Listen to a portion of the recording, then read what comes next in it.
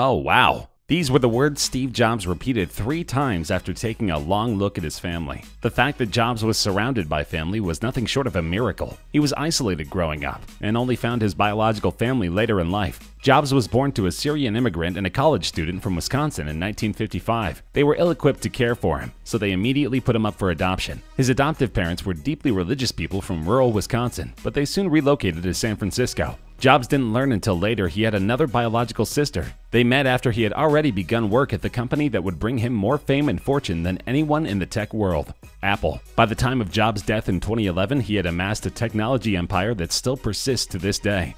Never one to mince words, Tupac had a special message for the first responder who found him after he was shot. Fuck you. The legendary rapper was gunned down in front of the MGM Grand in Las Vegas in 1996. As Chris Carroll, the first responder, explains, he was desperately trying to communicate who shot him before giving up and forcing out his final syllables. One of the most central figures in West Coast rap, Shakur is still one of the best selling rappers of all time. Though he was only 25 years old at the time of his death, Shakur produced seven albums that achieved platinum status, five of which were released posthumously. I'm going to go and see Jesus. On Friday, the evening before she was found dead in her room at a Hollywood hotel, she performed a sweet, heartfelt version of Jesus Loves Me at the True nightclub in Hollywood. There, she told friends she had a feeling the end was near. The R&B innovator was only 48 years old when she accidentally drowned in her bathtub. One of the best-selling artists of all time, Houston sold more than 200 million albums in her lifetime. The New Jersey native is considered one of the most influential singers in R&B to this day. God bless. Take care of my boy, Roy. These were Stan Lee's last words as he finally succumbed to a bad case of pneumonia. He left behind an incredible legacy. Lee was perhaps the single greatest influence on modern comics.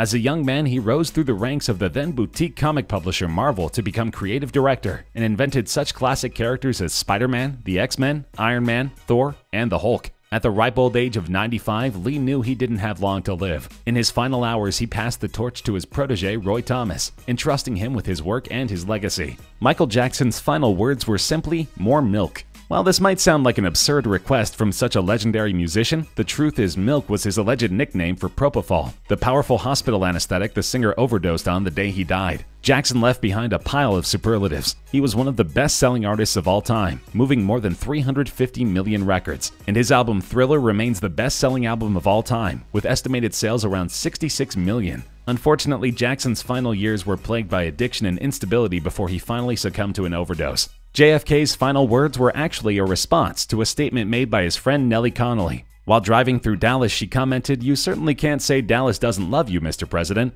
His response? No, you certainly can't. Moments later, he was gunned down in broad daylight in one of the most infamous murders in American history. A graduate of both Harvard and the Naval Reserve, Kennedy was beloved by many people around the world for his progressive politics and support of civil rights. I'm shot. This was all John Lennon could utter before he lost consciousness after being shot in front of his residence at the Dakota Hotel in New York City. The perpetrator was Mark David Chapman, whom Lennon had just signed a record for moments earlier. Chapman remained on the scene reading J.D. Salinger's The Catcher in the Rye until he was arrested by police. He planned to cite the novel as his manifesto. This tragedy was felt all over the world, as Lennon helped create some of the world's most memorable music with the Beatles. Money can't buy life. These were fitting last words for a man who spent his life fighting the patterns of commercialism and hypocrisy he saw in the world. And arguably the most famous reggae musician of all time, the Jamaican born singer sold more than 75 million records in his lifetime. In the end, Marley died of a malignant melanoma that he refused to have treated because of his religion. On his deathbed, he had an epiphany about the vice of greed that he passed on to his son Ziggy. As Benjamin Franklin lay dying at the age of 84, his daughter told him to change position in bed so he could breathe more easily. Franklin's last words were, A dying man can do nothing easy. Benjamin Franklin is best known as one of the founding fathers who drafted the Declaration of Independence and the Constitution of the United States. He is still considered instrumental in the foundation of the United States. What could be more fitting for the whiskey tycoon than his final words? One last drink, please. The Tennessee native died of blood poisoning after kicking a safe in frustration because he couldn't remember the combination. Though he barely made it to 60 years old, Jack Daniels is one of the most infamous distilleries in American history and is behind one of the most recognizable alcohol brands to this day. This legendary composer actually had the wherewithal in his final moments to craft a sentence in Latin. Beethoven's last words were Plaudite amici, commedia finita est. Friends, applaud. The comedy is over. His statement came after years of misery. Beethoven suffered from deafness, cirrhosis of liver, possibly venereal disease. He struggled with alcohol addiction, but nonetheless his music has endured the centuries and is instantly recognizable to current generations.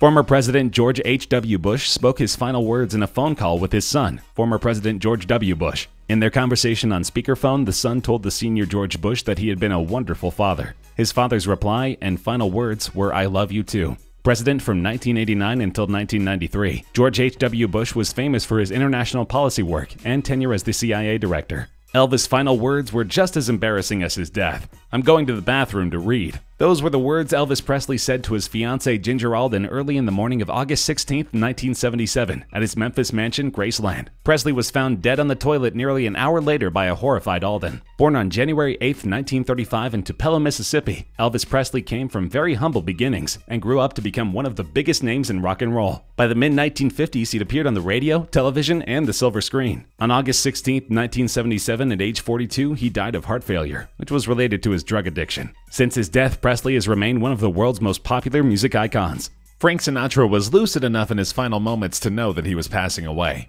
His final words?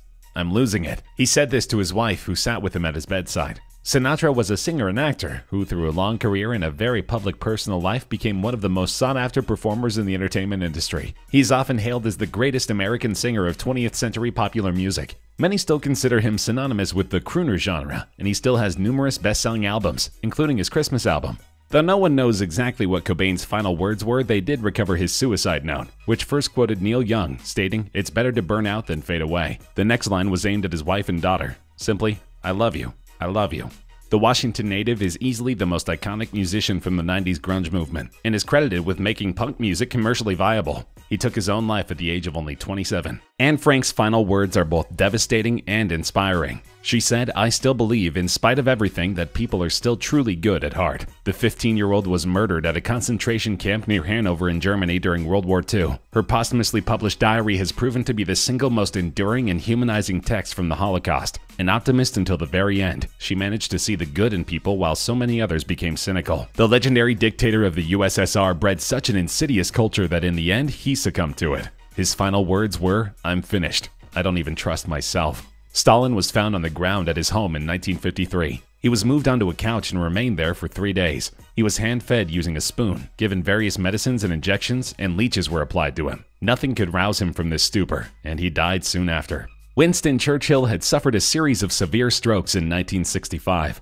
I'm so bored with it all, were his last words before slipping into a coma and dying nine days later. The famous British statesman had a legacy based on the British victory during World War II. He was highly quotable and was known for his colorful method of speaking. Some even say that he predicted his own death because he was ruminating about his demise on the day he slipped into a coma. The wallpaper and I are fighting a duel to the death. One or the other of us has to go. These are appropriate last words of the legendary Irish author Oscar Wilde. He was a popular literary figure in late Victorian England, known for his brilliant wit, flamboyant style, and infamous imprisonment for homosexuality. After graduating from Oxford University, he lectured as a poet, art critic, and a leading proponent of the principles of aestheticism. In 1891, he published The Picture of Dorian Gray, his only novel, which was panned as immoral by Victorian critics, but is now considered one of his most notable works.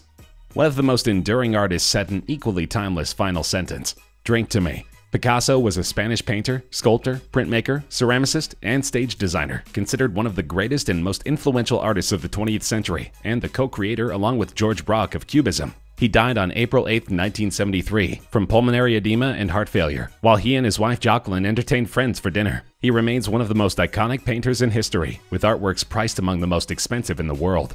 In his last moments, Luther was asked by his friend Justus Jonas, Do you want to die standing firm on Christ and the doctrine you have taught? He answered emphatically, Yes. Luther's last words were, We are beggars. This is true. Luther was the most prominent figure in the Protestant Reformation. He is credited with challenging established church figures and helping his congregation find a more personal relationship with God. Ben, make sure you play Take My Hand, Precious Lord in the meeting tonight. Play it real pretty. These were Martin Luther King's final words as he spoke to a musician about the concert he was meant to play later that night. The civil rights activist was assassinated by an escaped convict in 1968. King was a prominent leader of the civil rights movement and a Nobel Peace Prize laureate who was known for his use of nonviolence and civil disobedience. My God, what happened? This was Princess Diana's final question as she inquired about paparazzi who had crashed their car. Tragically, she crashed into their car immediately afterward and was killed instantly. The televised funeral was watched by a British television audience that peaked at 32.10 million, which was one of the UK's highest viewing figures ever. Her sudden death at only 36 years old devastated the public, who loved her for her support of the poor and children.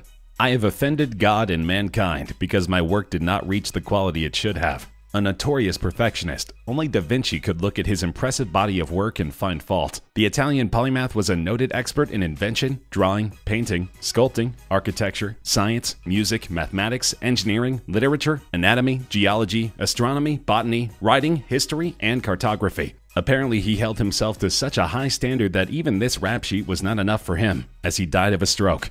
You too, my child? These were the tragic last words of Julius Caesar as he learned that his adoptive son Brutus was among his murderers. One of the most famous Roman politicians and generals, Caesar eventually declared himself dictator for life, a distinction that nearly every Roman ruler used from then forward. On the 15th of March 44 BC, Caesar was assassinated by a group of rebellious senators led by Gaius Cassius Longinus, Marcus Junius Brutus, and Decimus Junius Brutus, who stabbed him to death. Widely considered to be one of the most prominent figures in the Industrial Revolution, Henry Ford redefined the modern car as we know it. His introduction of the Model T automobile revolutionized transportation and American industry. As the owner of the Ford Motor Company, he became one of the richest and best known people in the world. At the age of 83, he suffered a cerebral hemorrhage, but not before uttering his final words I'll sleep well tonight. On May 20, 1506, in Valladolid, Spain, with his two brothers and two sons at his side, Christopher Columbus uttered his last words Into your hands, O Lord, I commend my spirit. A deeply religious man, these words were fitting for his last moments. Columbus was famous as a colonist and a navigator. He led the first European expeditions to the Caribbean, Central America, and South America, initiating the permanent European colonization of the Americas. Alexander Graham Bell, the inventor of the telephone, had a rather tragic final message. It was actually spoken in sign language. He signed the word no to his deaf wife, who had asked him not to leave her. The Scottish-born inventor is best known for the invention of the telephone, but he was also the founder of AT&T and died an extremely wealthy man. Edison was another man of science and a noted inventor who created devices including the phonograph, the light bulb, and motion pictures. Immediately before his death, he awoke from a coma, opened his eyes, and reportedly said to his wife, It's very beautiful out there. Through his team of inventors, Edison invented numerous devices which are still in use today. Though there is some contention over whether or not the ideas were truly his, they are still credited to his workshop. All compounded things are subject to vanish. Strive with earnestness. These were the words of Siddhartha Gautama, also known as the first Buddha. The religious teacher had announced that he would die soon after falling violently ill at the age of 80. Though his final words were somewhat esoteric, they matched his lifelong pursuit of life without suffering. According to Buddhist beliefs, Buddha did not truly die, but was reborn in order to help others achieve enlightenment.